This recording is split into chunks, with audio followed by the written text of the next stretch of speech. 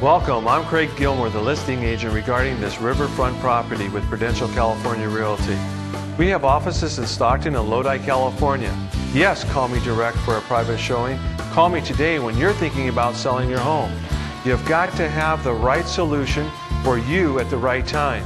Craig Gilmore only accepts the best listings, and yes, yours could be next. Thank you for viewing this prime riverfront property.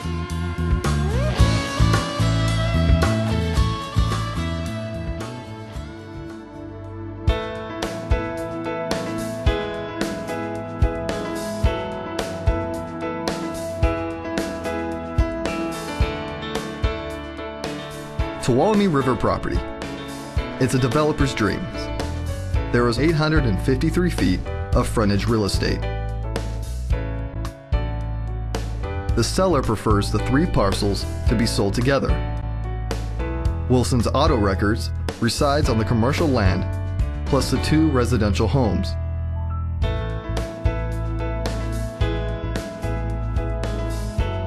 Wilson's Auto Wreckers is a viable, profitable business and has been around for decades and has established a steady flow of customers. The company has over 70 vehicles and hundreds, if not thousands, of parts on the premises. Wilson's Auto Wreckers boasts of one of the only freestanding car crushers in the Modesto area. This property has been inspected by Stanislaus County. The property directly across the river is being developed into the Tuolumne River Regional Park for the purpose of athletic activities such as soccer and football. Construction is slated for sometime in 2009 upon funding approval. The property is zoned for both commercial and residential development. Upon county approval, this land could easily be developed into parcels for prime residential housing